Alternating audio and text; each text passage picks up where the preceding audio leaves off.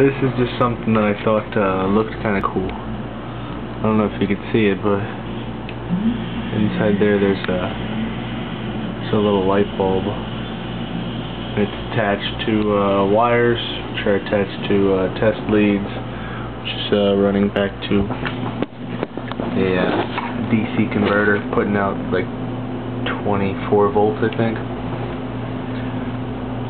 And the water doesn't have any uh, um, impurities in it, so it's, I guess it's pretty much not an electrolyte at the moment.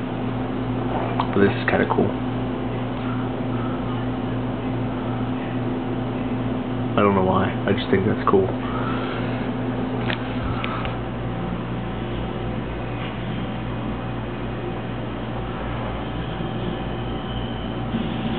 I'm running way too much voltage through this tiny little light bulb and the water I guess uh, is keeping it cool so it's allowing it to run brighter than it normally would.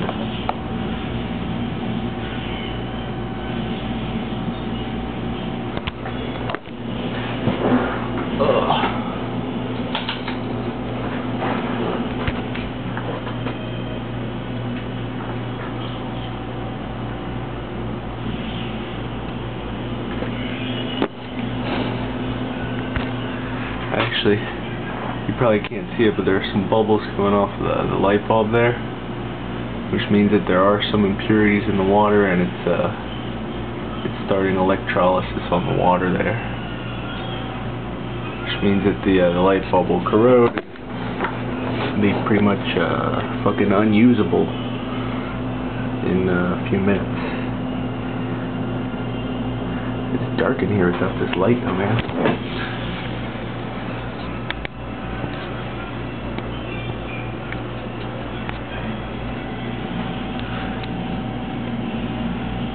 I came up with this when I was trying to think of a different way to make a hydrogen cell. So, I don't know. Anyway, that's pretty much it. It's just a light bulb and a bottle of water, really. So, it's not that geeky. I just thought it looked cool.